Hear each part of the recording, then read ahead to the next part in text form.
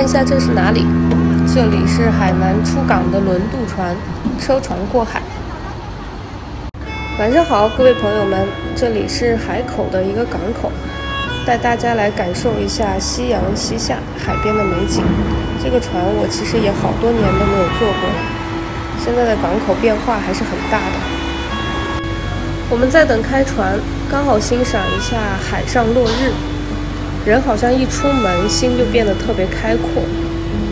大概一个半小时吧，我们到了对面的徐闻港，真的是有十多年没有坐过船了。徐闻港的变化也是好大，对面的灯光映照在摇曳的海面上，有一种温柔而沉静的美丽。这次过来也是冒着疫情的风险呀，要去一趟广东。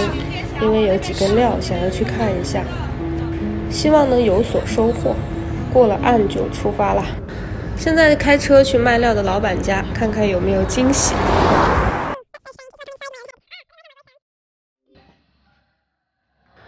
我们在回程的路上了。原谅一个太久没有坐过船出门的人，看到徐闻港这里面真的是跟机场差不多呀。这个候船厅跟候机厅一样，特别的大。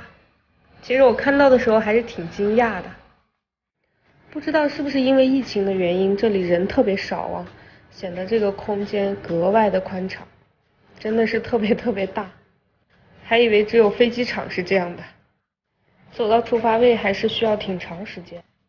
从窗口看一下外面的船停泊情况啊，船都很大很新，比我们十几年以前上学的时候真的好太多了。好啦，卖了一路的关子，现在给大家看一下我们去广东收的料啊。这个料的直径有点夸张啊，非常非常大。它的长度倒不是很长，但是看这个直径啊，这个位置应该是可以开独板的坐板，椅子的坐板，就是划线那个位置啊，可以开好多片。